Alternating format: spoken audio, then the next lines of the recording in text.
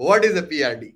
PRD के लिए सब लोग वेट कर रहे थे अब PRD is like a love letter to your engineering team if written comprehensively. A PRD is a document such that that the if the product manager does not even exist if the product manager is not there the business automatically understands what what has to be done who is the value receiver here the product is the value receiver because i give a requirement to you you implement it तो value किसको मिली मेरे को मिली ना value i got the value right? So the product is the value receiver here, right? Dev, QA, design are the value generator and users are the value distributor. Eventually the end user. If a PRD is written comprehensively, it should do the job of a PM even before the meeting starts. If I share my PRD with the dev team, a PM is not needed. If it's a great PRD, a PM should not be needed. Right? So PRD flow. Flow क्या होता है देखो business write a B R D ठीक है? That's the first step step one step two product receive the B R D that step two step three product understand the B R D step four product write the P R D right step five product explain the P R D to dev to a design अब जो ये वाला part है ना the step five it is not needed if the step four is done perfectly ये बात समझ में आई if step 4 is done perfectly step 5 is not required that you don't need a meeting in which you will explain the PRD. If the PRD is written very, very comprehensively, step five is not required. The typical breakdown of a PRD is like this. The first thing is again the objective statement. But what is the difference between a business objective and a product objective?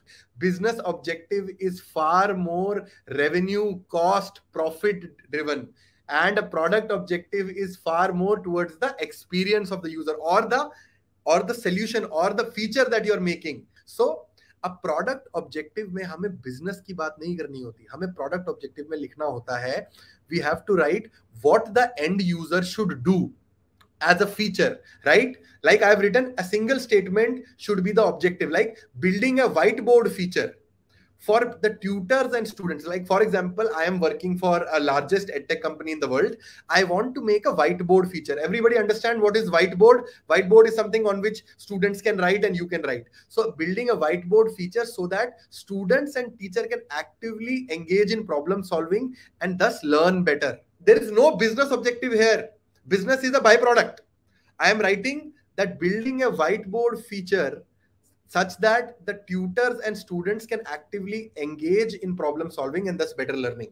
A product objective talks about what action should the end user do in order to effectively drive a business objective. The action is if I implement a whiteboard feature, students and tutor can, can interact in the chat and this will lead to more engagement and more engagement as a byproduct will lead to more revenue. So the PRD का पहला step होता है the objective. What is the objective? A single statement for the team to understand and understand to what to build. That is something that the first step of the PRD comes across.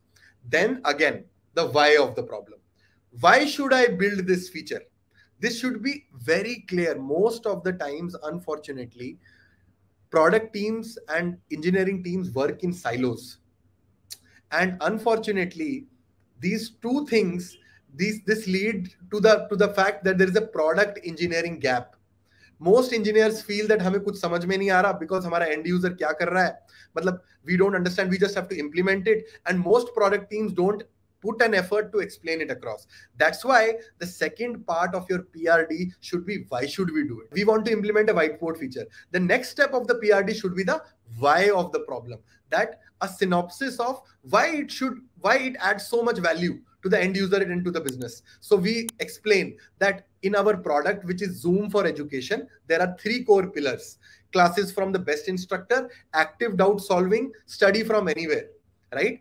First and third point are getting addressed but active doubt solving is not getting addressed. And that is why in order to improve the active doubt solving we need to implement a whiteboard feature. We also will explain the, with references that why does the whiteboard feature make sense. So i can write that from a reference but this is just an example that stanford and harvard educators have mentioned that that a class in which there is active engagement there is 50% more effective than a class which has which has less less active. Like for example if i had a whiteboard feature here you guys would have been able to solve and learn with me very very easily. And second thing and i can i can also say that with reference data from stanford and harvard it is it is just an example. Guys it's just an example that the study is far that your education or learning in a class is 50% more effective than asynchronous problem solving. And i will give references. So first i gave the objective. Second i talked about why it is important with references. Then the third part is and i have mentioned this is all the why of the problem that it is a very strong pillar of engagement etc whatever. So i will in detail mention that why this problem should be solved. Now it will do two things. One it will make the design the engineering the product team better understand that why it is needed to build this feature. Then the third part is again this is a product solution a high level solution right? Like the tutor launches a whiteboard you, you can create a diagram here. Tutor launches a whiteboard, tutor selects group of students, student join the tutor on the whiteboard, and finally student and tutor solve the problem together. It's the high level solution.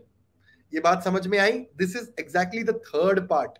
After the objective and the why of the problem is explained, the third is the high level solution. Fourth, now this is very important.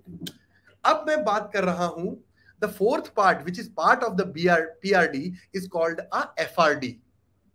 FRD basically means the functional specification, even the smallest detail of the feature, right? Like after I've written, I have after uh, I have I've started with the objective, the why, then the third part is the high level solution. The fourth part is called a functional requirement or a feature level requirement. यहां तक बात समझ में आई feature level requirement में you will have to go detailed that how does a teacher launch a whiteboard? The first part is teacher launches a whiteboard in the high level solution. In the FRD, which is a part of the PRD, I will write the complete steps that tutor log logins into the tutor panel, selects the whiteboard, that CMS in, initializes the whiteboard, I will write the total proper detailed step. The tutor goes to the backend, clicks on the button. The button uh, uh, shows positive signals. The button button says that we are launching the whiteboard, and we do all of things in a very very functional requirement structure. Like try and understand what I mean by that is अब जो मैंने high level solution में एक line लिखी थी ना उसी को मैंने proper तरीके से explain कर दिया कि ट्यूटर ट्यूटर पैनल में जाएगा तो tutor will log in to the tutor panel select the white board from the back end the back end initialises the white board the time taken by the back end is two to three seconds at the same time initial popup should be shown to the students so I am writing that complete detailed with edge cases and everything in the functional requirement yes with each and every minor step ideally yes Yes, even the smallest of clicks should be mentioned. That's why I told that a PRD is like a love letter to engineering. Engineering likes that you don't miss edge cases. Every smallest step with edge cases you have to mention in the FRD. Once all the all the actionable side steps in the FRD, you also mention the mockups also. Mockups are done by the design team.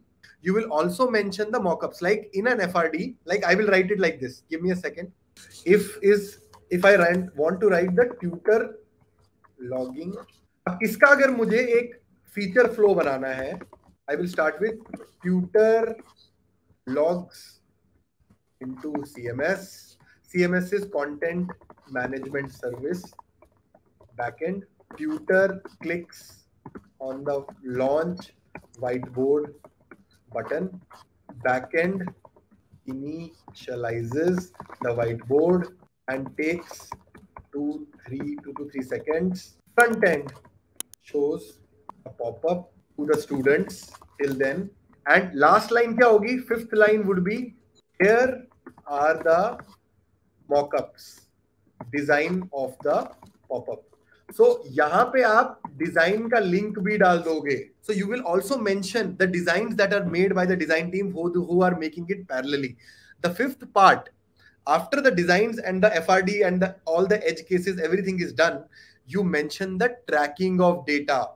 That is also a part of the PRD that you define key events in the journey, like whiteboard start, event one, whiteboard does not initialize, event two, whiteboard student selected, event three, whiteboard pen used, event four, whiteboard stopped, event five. So you will also mention the tracking of data as part of the PRD. So the first step is objective, second is why, third is high level solution, fourth is the feature level solution. That's why it takes time to write a PRD. Then the fifth part is tracking of data. You will mention events for tracking each and every button that is happening on the PRD. You will write about if somebody clicks on the whiteboard, there should be an event that should get fired. And these are product analytics events like which are part of Mixpanel, CleverTap, or something that the user is doing, you should be able to track it.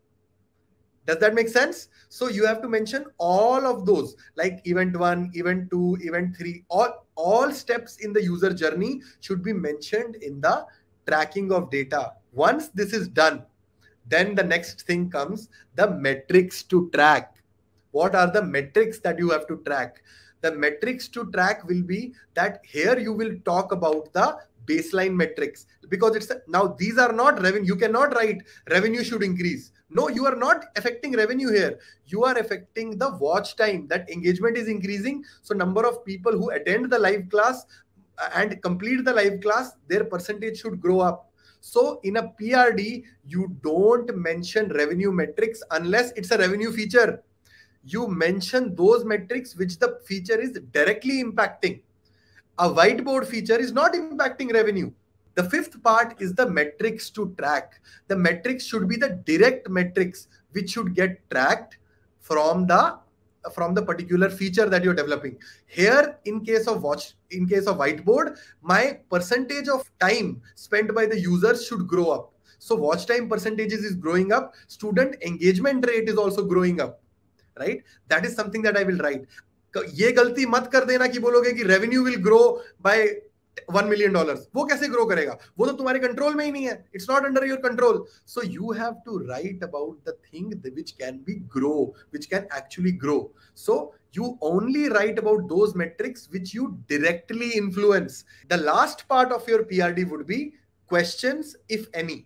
You open the PRD and make a section called questions in which your design qa etc all of these teams can ask your questions right? Like there can be a question what will happen if a student on whiteboard is not responsive for 10 seconds?